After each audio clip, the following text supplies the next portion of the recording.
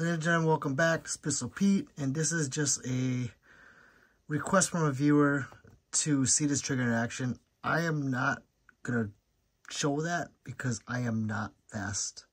I don't have a fast trigger finger.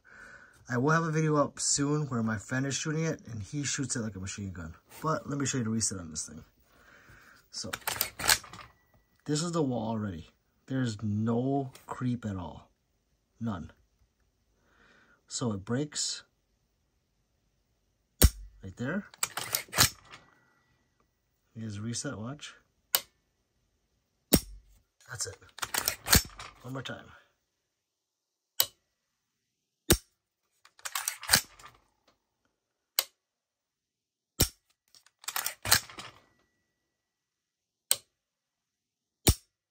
That is a crazy trigger.